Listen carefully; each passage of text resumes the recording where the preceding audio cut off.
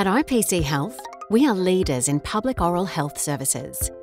As the largest service provider in the outer west of Melbourne, we provide dental services to the Brimbank, Hobsons Bay, and Wyndham local government areas, or LGAs.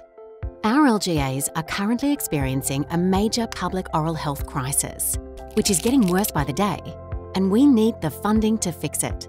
Let's look at the problem. We have less than 50% of the public chairs required to support the demand. Our waiting lists for both adults and children are immense, wait times for general care and denture care are excessive, and we are in one of the fastest population growth corridors in metropolitan Melbourne. On top of this, COVID 19 service restrictions have caused a massive backlog of further delayed treatment. The impact is huge, with thousands of people in our community affected and many of those suffering. While clients are waiting, their health situation gets worse.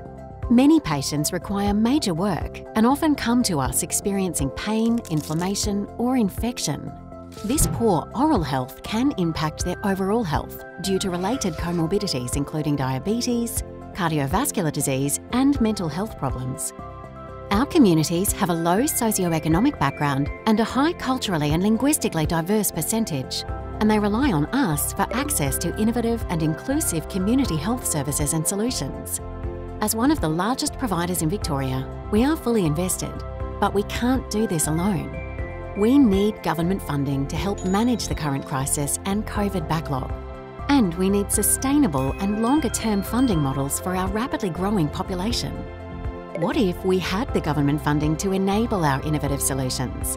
IPC Health has a contemporary, purpose built, eight room dental facility shell at our Wyndham Vale Superclinic campus we have committed capital expenditure to fit out the facility with the required infrastructure and equipment to make it operational. We are now seeking the required government funding to support the service delivery that our community so desperately needs. What if we could activate eight dental chairs at our Wyndham Vale campus? Engage and support dental students with experienced supervisors.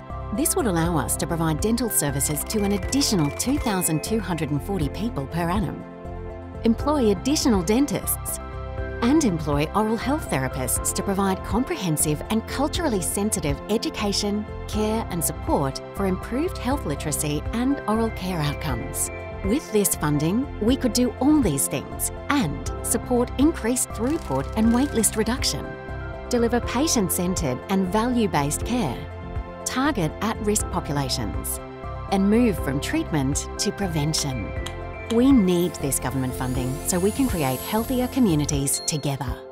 Please contact us for more information.